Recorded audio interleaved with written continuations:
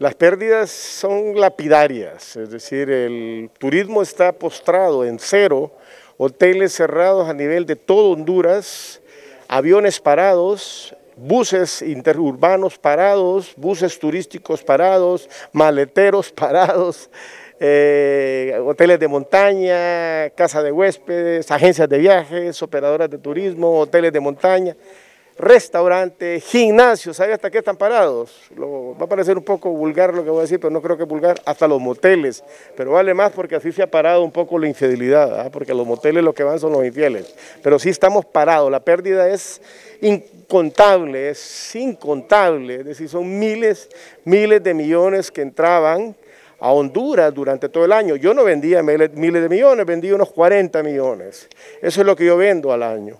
Eh, ahorita nosotros llevamos una pérdida, ahorita en los primeros cinco meses, ahorita a mayo, aproximadamente de unos 4 eh, millones de lempiras. Solo la empresa nuestra. Solo la empresa nuestra. Usted, cuenta desde enero, sí, desde, desde esta pandemia. Desde que el COVID apareció, acuérdense que el COVID apareció en diciembre, a finales de noviembre. Por eso se llama COVID-19. Lo que pasa es que la OMS no quiso lanzar la noticia, ustedes ya saben por qué. Eh, sino que fue hasta enero. Nosotros en enero hicimos el último viaje grupal de un grupo de oficiales de policía eh, a, nivel de coroneles retirados, comisionados retirados que tienen eh, compañías de seguridad que fueron a a Israel a un curso que ellos necesitaban y se fueron a, cuenta y riesgo de ellos, porque nosotros no les dijimos no viajen porque es peligroso. No, nosotros somos combatientes, dijeron y nosotros vamos a ir. Y fueron, vinieron y todo pasó. Después de ahí nosotros no hemos vendido un solo pasaje ni siquiera a Cihuatepec. Cerramos la oficina totalmente. Eh, postergamos todos los viajes que nos han pagado de las escuelas, tenemos muchos viajes de escuelas, de empresas, de aseguradoras, eh, de cooperativas, teníamos la Copa, la Copa América, teníamos eh, Japón 2020, los Juegos Olímpicos, teníamos la Eurocopa y muchas familias que van en diciembre y que son clientes nuestros que van a Roma y que van a todos lados.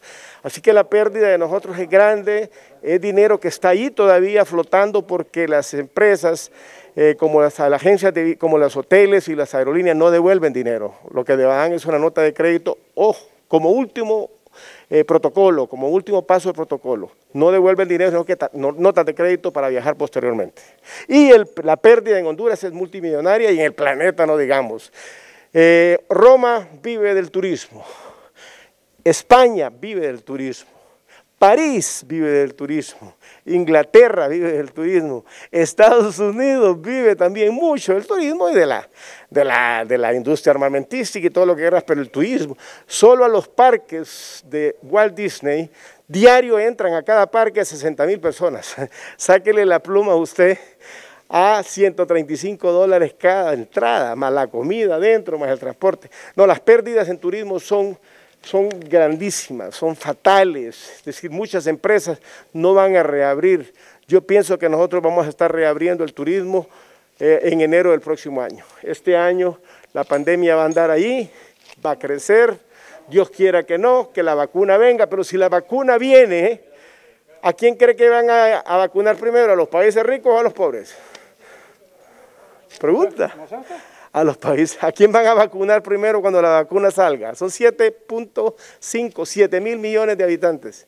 ¿A quién van a vacunar primero? ¿A los, países ricos o a los países pobres? A los países ricos. ¿A quién van a curar primero cuando el medicamento llegue? Porque van a tener que hacer un medicamento.